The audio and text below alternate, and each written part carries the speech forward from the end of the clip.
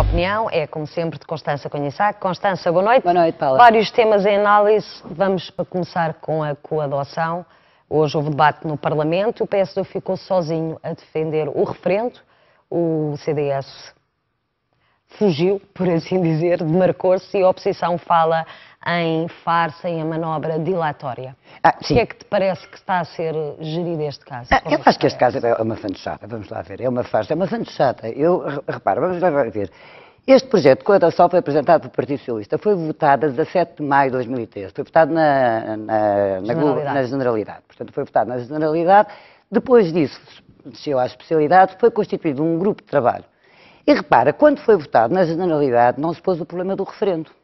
Os deputados votaram todos, até houve 18 deputados, por exemplo, do PSD, que votaram a favor do projeto. E, portanto, não se pôs problema nenhum. Este senhor, por exemplo, da JSD, votou. Nessa altura não levantou o problema do referendo que a Assembleia da República não tinha condições ou não tinha legitimidade para discutir aquele assunto. E como não levantou, quando a Assembleia da República chumbou a adoção casais homossexuais. Também nunca foi levantado o problema do, do referendo. Nunca. Uh, uh, o processo seguiu para a especialidade, foi constituído um grupo de trabalho nessa altura, foram ouvidas variadíssimas pessoas e, de repente, vindo do nada, cinco meses depois, vindo do nada, fazendo tábua rasa de tudo o que se tinha passado no Parlamento, aparece o senhor da JSD, o rapaz da JSD, com a ideia de um referendo a 22 de outubro de 2013. Porquê? Qual é a justificação? Qual é a justificação? É evidente que ainda há pouco eu dava a ouvir, já ontem aqui também na TV 24 ouvia dizer que a questão de referendo é uma questão de princípio, porque não quer dizer que seja contra ou a favor da coadotação. Agora, isto é uma argumentação de má fé absoluta, porque há aqui um ponto. Diz que os partidos não, ninguém propôs, ninguém não é, propôs. na campanha. Eu, eu, eu, diria, no caso dele, é bom não falar muito do que é que foi proposto ou deixar de ser proposto pelos partidos, porque eu saiba, cortes nas pensões, cortes nos ordenados, cortes dos subsídios, também nada disso foi proposto na campanha. E, portanto, não, não impediu que, que se fizesse. Agora, o problema não é esse. O problema é dizer-se que não se é contra nem a favor, que o problema está apenas no, no referendo, quando isto tem dois, dois significados óbvios. Primeiro, entope e paralisa o processo na Assembleia da República. E segundo, não é por acaso que se apresenta um referendo sobre dois temas. Porque o referendo que a JST propõe nem sequer é sobre a coadoção.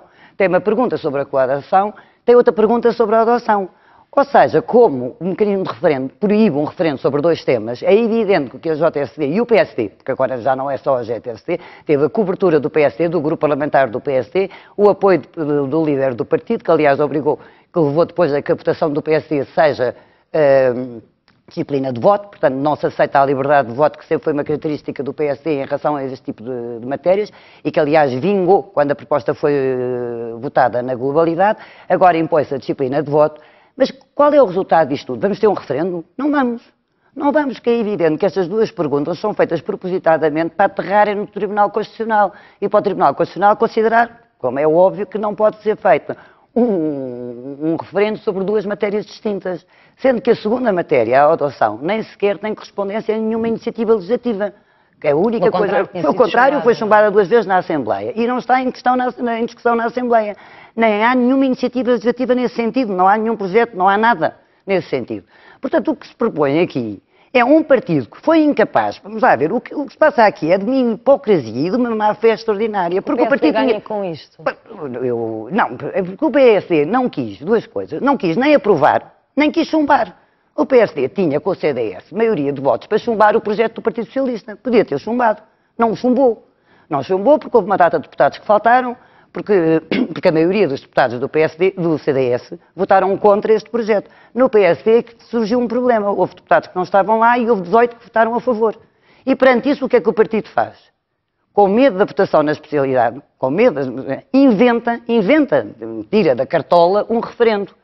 O que é que o PSD ganha com isto? É que não vai ter nem referendo, nem vai aprovar a... a... Ainda ontem, por exemplo, ouvimos a Ministra da Justiça a defender a coadoção a Ministra da Justiça pode defender a coadação no seio do seu gabinete, mas a verdade é que o partido a que pertence a Ministra da Justiça impediu que essa coadação, coadoção seja legislada na Assembleia da República. E eu penso que isto que se faz aqui, quer dizer, esta ideia de interromper um processo quase no fim, tirar a Assembleia da República, mandar um referendo com duas perguntas claramente que vão ser consideradas claramente inconstitucionais. Portanto, não tem pés para andar. É um desrespeito enorme, tanto pela Assembleia da República como pelo Tribunal Constitucional, que mais uma vez vai ser chamada a interferir numa matéria que devia, o mais elementar bom senso, que fosse logo analisada na Assembleia da República, ou pelo menos na questão do referendo, que o PSD soubesse apresentar um, as perguntas, um, um referendo como deve ser. Não é justificável que o PSD não saiba que não pode apresentar a referendo, num mesmo referendo, duas matérias distintas. Não é admissível. Portanto, o que é que se, o que é que se conclui disto tudo? que o PSD não quer nem a coadoração na Assembleia da República, nem quer o referendo. Não quer tomar partido. Portanto, não quer tomar nada, quer que isto, de uma forma, quer dizer, arranjou aqui uma manobra dilatória, arranjou aqui uma manobra, um expediente que impediu que isto fosse chumbado na Assembleia com os votos do PSD, que foi, fosse aprovado na Assembleia com os votos do PSD. Atenção, porque esta lei só podia ser aprovada com votos do PSD, não, ou então com a abstenção ou com a bandada do, do grupo parlamentar do PSD. Portanto, impediu e não quis isso. Não quis também chumbar e, portanto, arranjou aqui uma coisa que toda a gente sabe, ou que toda a gente presume que não se vai realizar tão cedo. Porque não é por acaso que o CDS se põe à margem, com certeza que se põe à margem, que é o maluco que acha que vai haver agora um referendo no meio das eleições europeias, que vai haver um referendo sobre o, a coadoção e sobre a adoção. Que é o maluco que acha isso. Aliás, o, líder da JST chegou a propor que o, o, referendo se realizasse na data das eleições europeias. É evidente que essa hipótese já foi posta de parte, porque não pode ser.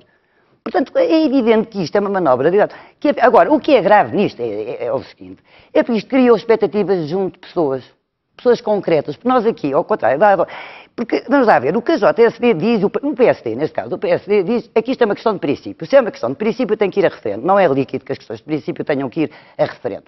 Por exemplo, eu vi a Igreja Católica agora a apoiar este referendo, mas vi a mesma Igreja Católica, quando foi, se falou do referendo sobre o aborto, dizer que era, o aborto não era uma matéria referendável e, portanto, não percebo muito bem porque é que a Igreja mudou, porque é que em relação ao aborto não é referendável e em relação à coadoção e em relação à adoção já é referendável. Se é uma questão de princípio, não vejo razão para ser referendável. Agora, o problema da, do PSD é este. Se isto é uma questão de princípio, então porquê é que o discutiram na Assembleia da República? Porquê é que se chumbou na Assembleia da República e eles votaram, votaram o chumbo da adoção, votaram a viabilização da coadoção. E nessa altura não se pôs o problema do princípio Nessa altura, quer dizer, nessa altura, há uns meses atrás, em maio, a Assembleia da República estava mandatada para poder legislar sobre a matéria. Uns meses depois já não estava. Pelas mesmas pessoas que, entretanto, tinham votado. Portanto, isto é uma palhaçada. De facto, isto é uma palhaçada que põe em causa também expectativas legítimas que tinham sido criadas às pessoas. Porque, atenção, nós não estamos aqui a falar da adoção. Nós estamos a falar da coadoção, que é uma coisa diferente, refere-se a uma situação concreta que já existe. Estamos a falar de casais que, ou porque adotaram, ou porque um deles adotou uma criança, ou porque tem uma criança, etc., que no caso, tanto em vida como no caso da morte, que o outro possa assegurar essas funções, ou seja, que a criança continue, no fundo, uh, no lar. No lar. Não, e, e isto, quer dizer, porque tens aqui dois pontos, tanto em relação à vida, porque o parceiro, por assim dizer, ou a parceira, neste caso, não pode usar nunca em vida eh, determinados direitos que poderia ter por, ser, uh, por também estar a acompanhar a criança e, no caso de morte, não pode, não tem direito, porque, ao contrário do que acontece com casais heterossexuais, em casais, por exemplo, uniões de facto, etc., é que é possível fazer um contrato de coadoção, aqui não é possível fazer. E, portanto, em última análise, pode acontecer situações, acontecer situações em que, por exemplo, morte de um dos uh, cônjuges, a criança vai parar ao Estado. Isto faz algum sentido?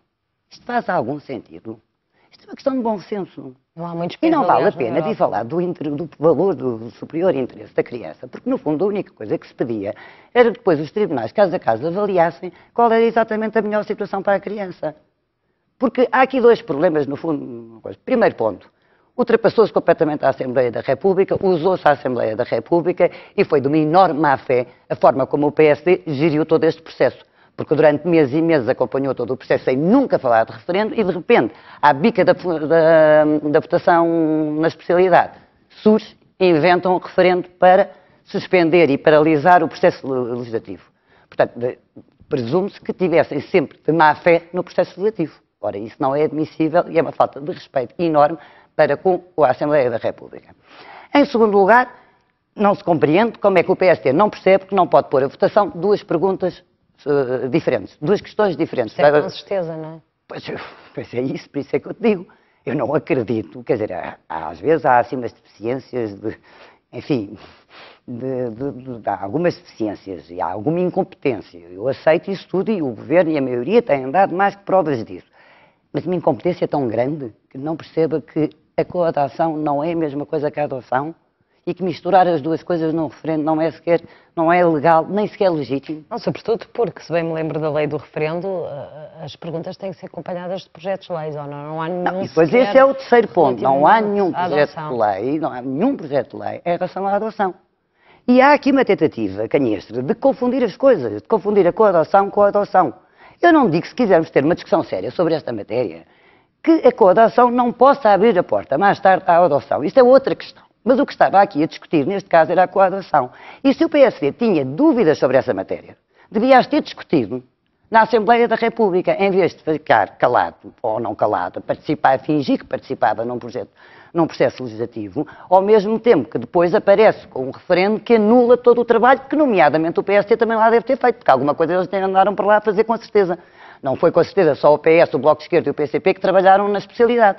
Presumo que deputados do PSD e do CDS também tenham trabalhado na especialidade. É. Portanto, no fundo, isto é uma falta. Portanto, já tínhamos falado da Assembleia da República. O facto de irem com duas perguntas, confundindo dois temas que não são para confundir, mostra uma enorme má fé também. E é por isso que eu acho que, de facto, quando se vai a este ponto, não se quer já também o referendo, em última análise, o que esta gente quer é coisa nenhuma. Quer quis afastar a questão da Assembleia da República e adiar isto para outra altura qualquer. Isto não descredibiliza também, eh, enfim, a classe política, o Parlamento? Eu acho que descredibiliza muito, descredibiliza muito. Uh, uh, quer dizer, eu, eu acho que descredibiliza muito o PSD neste, neste ponto no PS. Aliás, não é por acaso que o CDS, não é por acaso que o CDS, neste caso, e não podendo, e não podendo abrir a boca muito sobre outras coisas, neste caso foi de uma violência muito grande em relação ao PSD sobre esta matéria. Porque o CDS o que veio dizer foi o seguinte, nós não, aliás, com o argumento que eu penso que, é, que era dispensável, que é o argumento dos custos. Dinheiro. Não há dinheiro, não há verbo orçamental para referendos, e, portanto, nós não vamos, e não, não é por nós, para... e não contem connosco para haver essa verba. Eu penso que não é o problema, não está no dinheiro do referendo ou não. Agora, o que o CDS diz é, não alinhamos no referendo, isto é um problema do PSD, isto é um...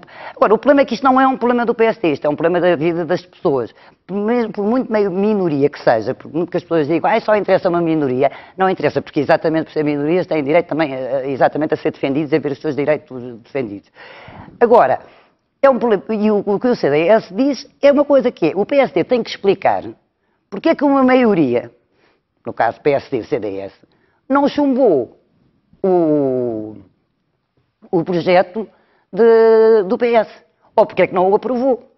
Porque a ideia de que o referendo não tem nada a ver com as posições, eu posso ser a favor da adoção, mas defender um referendo, não faz qualquer espécie de sentido. Poderia fazer sentido se o PSD tivesse tido a humildade, no princípio, dizer logo, não, nós consideramos que esta matéria não deve ser discutida uh, na Assembleia da República, porque não fez parte do, do, do programa eleitoral, porque isto, porque aquilo.